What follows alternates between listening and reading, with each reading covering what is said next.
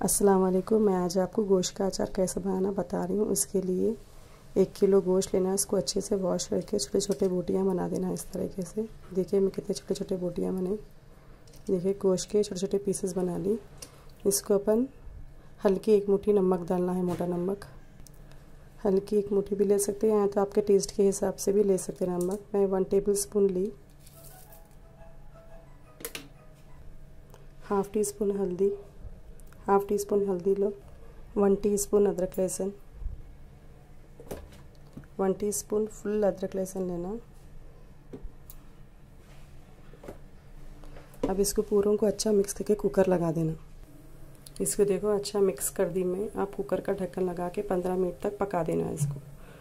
पंद्रह मिनट में पक गए बाद में से, पंद्रह मिनट पक गया बाद में से चूल्हा बंद कर दो। गोश्त गल गया ये पूरा अच्छा। फिफ्टीन मिनट्स ट्वेंटी मिनट्स तक रखी तो गोश्त अच्छा गल गया, देखिए हाथ से देखो अच्छा गल गया गोश्त। अब क्या करना? एक कढ़ाई में तेल डालो। एक, दो, तीन, चार,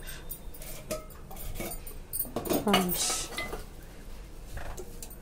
पाँच चमचे तेल, पाँच चमचे तेल डालो। तेल को अच्छा गर्म हो गया, में से गोश्त डालो इसके अंदर। तेल अच्छा गर्म हो गया, इसमें अब दो चमचे ज़ीरा डालो बघार के लिए, तड़के के लिए। एक, दो, तीन तीन चमचे ज़ीरा डाली में। चाय के चमचे से तीन चमचे ज़ीरा डाली बघार के लिए। अब इसमें सूखी लाल मिर्ची डाल दो।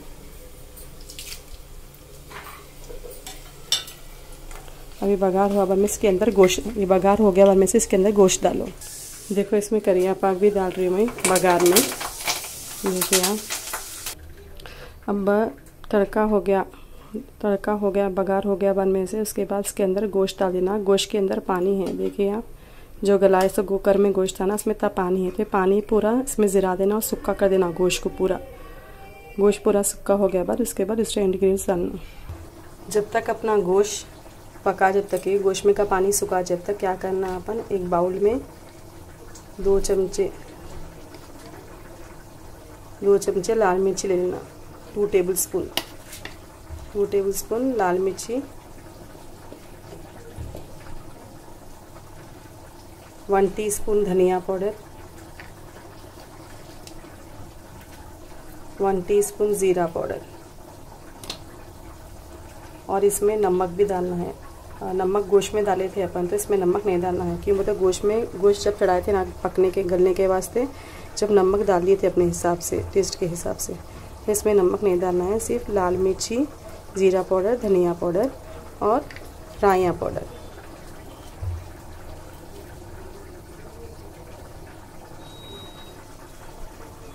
One teaspoon one teaspoon राया पाउडर। राय को भून लेके पीस लेना। अब इस सबको अच्छे से मिक्स कर लेना अब इसमें पाँच लहसुन के पीसेस डालना, देखिए। पाँच लहसुन से, लहसुन के पीसा हैं। कलियाँ, पाँच लहसुन के कलियाँ इसके अंदर। पीस के लहसुन को, ये पाँच लहसुन के कलियों को पीस के ये मिर्ची में मिलाना। इसमें लहसुन भी पीस के डाल दिए अपन। अभी पूरे पाउडर को इसके अंदर मिक्स कर देना अच्छे से। लहसुन, लाल मिर्ची, धनिया पाउडर ज़ीरा पाउडर आया पाउडर ये पूरों को अच्छे से मिक्स कर देना।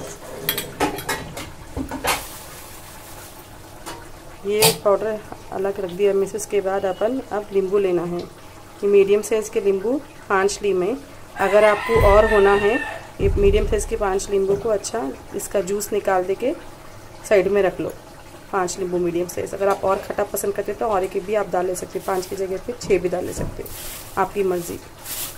गोश्त देखो अच्छे से सूख गया। गोश्त अच्छा पूरा सूख गया, पानी थोड़ा भी नहीं है इसमें, देखो आप। पूरा अच्छा सूख गया और तेल पूरा अलग छोड़ दिया, देखो। अब इसमें क्या करना है, जो मिक्सचर बनाए थे ना अपन, ये लाल मिर्ची का, वो डाल देना इसके अंदर। मीडियम पे रखना, पूरा सिम कर देना चूल्हे को। चूल्हे को पूरा सिम करके, उसके बाद सिम में पकाना मिर्ची डाल के। एक पाँच मिनट ऐसा पकाना। पाँच मिनट इसको देखो, ऐसा पकाना।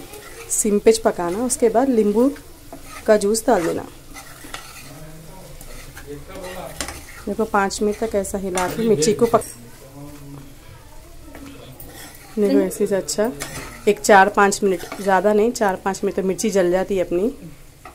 तेल कम दिख रहा है इसमें तो आप तेल डाल सकते हैं और अब बीच देखो, ये नींबू ये नींबू का जूस है। ये नींबू का जूस है।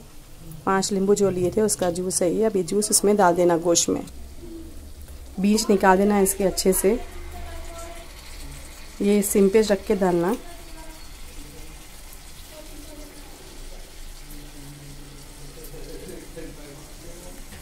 पूरा नींबू का जूस डाल देना इसके अंदर। नींबू का जूस डाले बाद मिसेस को अच्छे से हिलाओ। ये देखो, कितना अच्छा हिलाना है ऐसा, अच्छे से हिलाओ। अगर आपको तेल कम दिख रहा तो एक अलग पैन में तेल गरम करके इसमें मिला दो।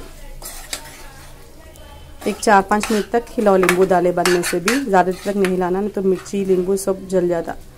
तो इसके यहाँ से चार पाँच मिनट पकाना। मिर्ची डाले में से एक चार पाँच मिनट और नींबू डाले में से फिर चार पाँच मिनट। देखिए आप, चार मिनट के बाद चूल्हा बंद कर दो। अगर आपको तेल की ज़रूरत पड़ी तो आप तेल इसमें और डाल सकते गर्म करके अलग पैन में वो तेल इसमें डाल देना। देखिए लींबू डाले में से चार पाँच मिनट पका रही देखो मैं। अच्छे से पक गया। अगर आपको तेल होना है तो ये तेल पैन में गरम करके डाल दी तो आप डाल सकते अब बीच इसमें नहीं डालना, अलग पैन में तेल गरम करके डालना। देखो, दो तो तीन तीन बार बोल रही हूँ, कच्ची बू आती नहीं तो तेल की, फिर अलग पैन में गरम करके डालना तेल इसके अंदर। अब ये हो गया और सिम पे चार मिनट हो गए, मैं चूल्हा ऑफ़ कर दे रही हूँ। अब देखो, गोश्त खा के। ये देखिए आपका गोश्त का अचार बन के तैयार हो गया। अब इसको तोड़ के देखेंगे अपन। देखो कितना अच्छा सॉफ्ट तोड़े गया। एक ही बार में अच्छा गल गया।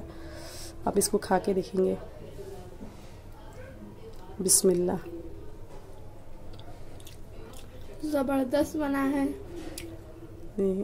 माशाल्लाह बहुत अच्छा टेस्टी हुआ। लाजवाब हुआ खट्टा खट्टा अच्छा। हो अगर आपको नींबू की ज़रूरत पड़ी तो आप नींबू ऊपर से और डाल सकते हैं इसमें। लाइक और सब्सक्राइब करना मत भूलिए। एक बार आप भी ट्राई करके देखिए घर में। गोश्त का अचार बना के। अल्लाह हाफिज़।